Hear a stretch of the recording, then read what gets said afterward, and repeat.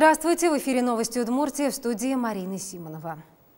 Достраивать Камский мост будет банк. Глава республики Александр Соловьев провел рабочую встречу с представителями правления ВТБ. Был утвержден график работ, названы новые подрядные организации, сумма, которую осталось вложить в стройку и время, время когда проезд станет платным. Марина Баль обо всем по порядку. Камский мост, проложивший короткий путь между Удмуртией и Башкирией, соединивший Камбарский район со всей республикой, достраивать будет банк. Прежний инвестор, оказавшись в трудной финансовой ситуации, уступил свою долю в проекте ВТБ. Случилось это в конце декабря прошлого года. Сегодня консультации с представителями правления банка провел глава республики. Итог встречи – утвержден график работ. Как раз сейчас время отсыпки конусов время отсыпки направляющих дам. Об этом мы как раз тоже говорили. И я думаю, что буквально в феврале месяце эти виды работ уже начнутся. Здесь, на объекте. Потому что нижнюю часть надо завершать. Строительных работ на Камском проекте осталось немного. На совещании был представлен список новых подрядных организаций. Представители банка сообщили, финансирование уже идет. По оценкам ВТБ, чтобы закончить объект полностью, нужно около 1 миллиарда рублей. Сегодня проект полностью обеспечен э, финансированием э, со стороны э, банка ВТБ.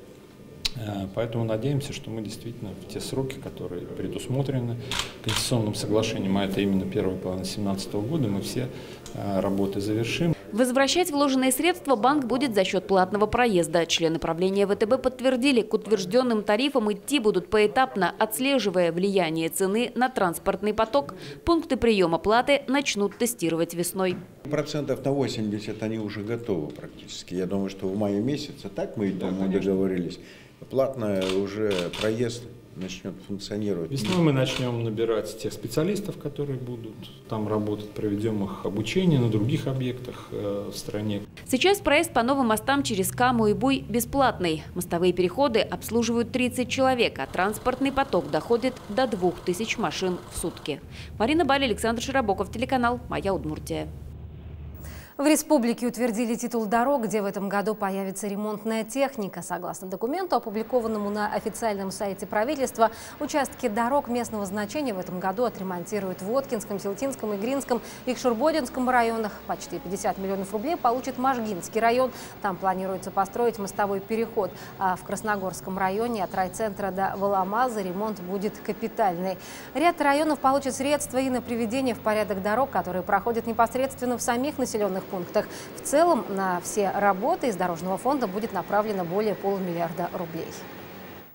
В Удмуртии снова похолодало, усилившиеся морозы заставили вспомнить о тех, кто, находясь на улице, не может адекватно позаботиться о себе.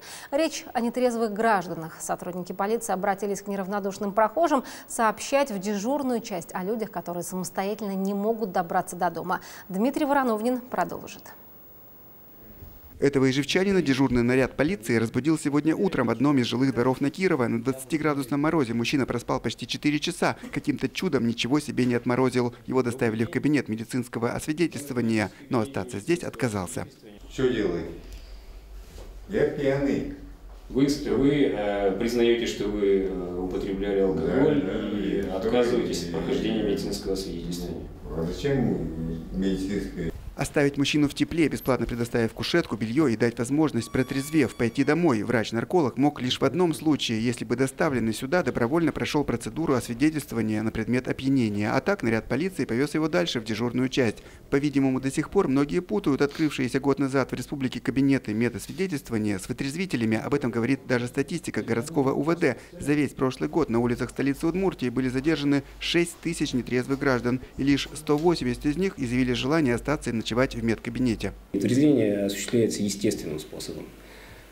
А, ему предоставляется кушетка с одноразовой простыней. В течение 4-6 часов он здесь пребывает, и после этого мы отпускаем его домой.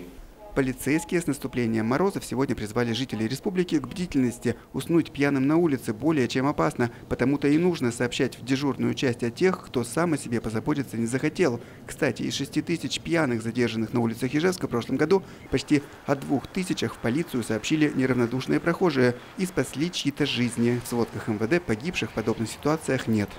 Чтобы не замерз, не умер на улице такие морозы, гражданин позвонить 02, сообщить об этом, дождаться сотрудников полиции, ну и, конечно, соответственно, сделать свой гражданский долг, долг помочь этому гражданину не замерзнуть. О том, что морозы отступать пока не собираются, подтвердили сегодня в Республиканском гидромедцентре. До конца недели среднесуточная температура в Удмуртии будет ниже климатических норм. В четверг, пятницу и в субботу ночная температура составит от минус 23 до минус 28 градусов. По северным районам до минус 30, минус 33 градусов. Дневные же температуры от минус 16 до минус 21 градуса. Потепление небольшое начнется лишь в начале следующей недели.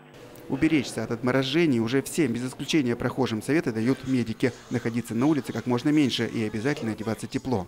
Дмитрий Вороновлин, Руслан Нуриахметов, телеканал «Моя Удмуртия».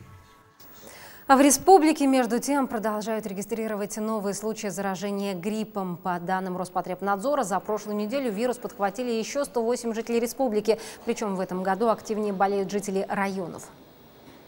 Практически 96% определяется вот этим сезонным вирусом гриппа H3N2, гонконговский вариант, который вот мы говорили о том, что он будет циркулировать в этом сезоне. Он И небольшой процент, да, он обязательно входил в состав вакцин.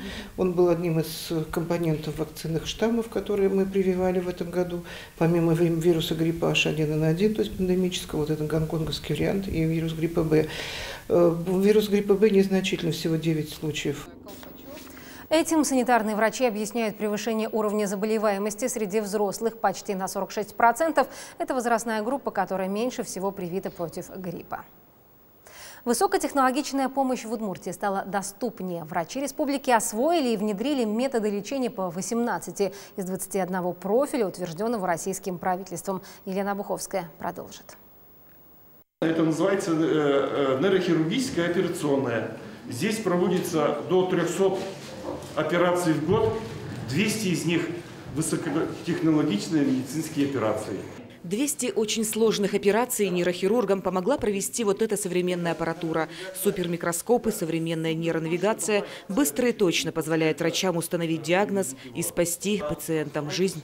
Артериальная аневризма, разрыв, геморрагический инсульт – может быть, одна-две в год делали, а теперь мы делаем до 60 операций в год благодаря вот этому оборудованию, современному микроскопу и современной диагностической аппаратуре, где мы ставим диагноз именно разрыв артериальной аневризмы. Оборудование очень хорошее, хорош высокого класса, географическая система для выполнения различных э, вмешательств под рентгеновским контролем. В основном это на сосудах, Вообще отделение было создано для профилактики и лечения ишемического инсульта. Еще пять лет назад высокотехнологичную медицинскую помощь в регионе оказывали только две больницы. Сегодня восемь. Специалисты республики освоили и внедрили методы лечения по 18 из 21 профиля, утвержденного российским правительством. К примеру, в первой РКБ действует 15 федеральных лицензий по различным направлениям высокотехнологичной медицины, в том числе и самых востребованных – травматологии и ортопедии.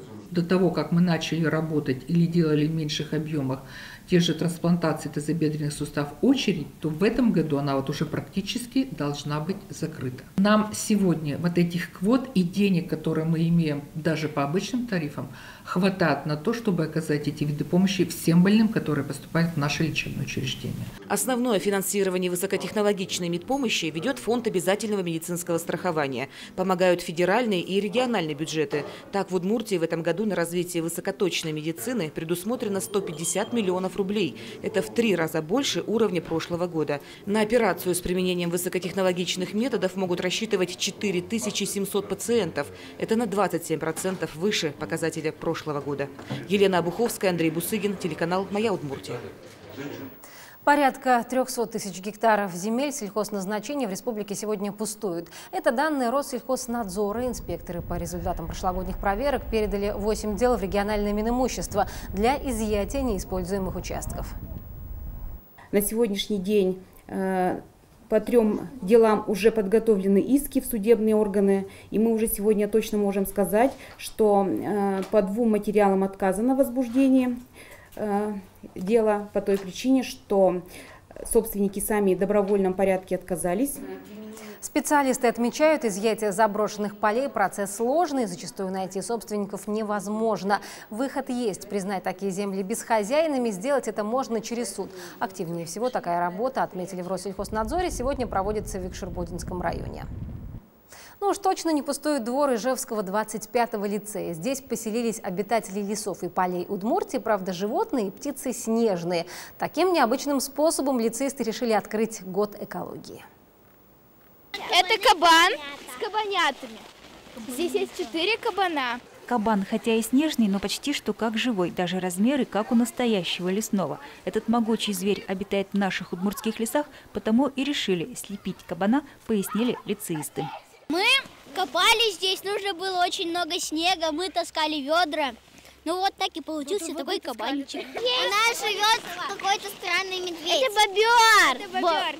Почти все обитатели лесов и полей Удмуртии поселились во дворе 25-го лицея. Таким вот традиционным конкурсом ледовых фигур лицеисты решили открыть у себя год экологии. 2017 пройдет в России под эгидой охраны природы. К тому же, уверены педагоги, создание снежных шедевров – процесс не только увлекательный, но и сплачивающий родителей и детей. Процесс очень творческий. Родители и наши ученики подходят к нему со всей серьезностью планируют, выбирают, долго обсуждают. Ну и потом, как правило, это уже выходные дни, специально приезжают на территорию школы и создают свои шедевры. А в эту лягушку, уверяют четвероклассники, они смогли вдохнуть волшебство, настоящее. Мне кажется, э, она приносит счастье и в учебе, и в жизни, и, и везде нам может помочь. Ночью, ночью она может, могла, может быть, превращаться в царевну.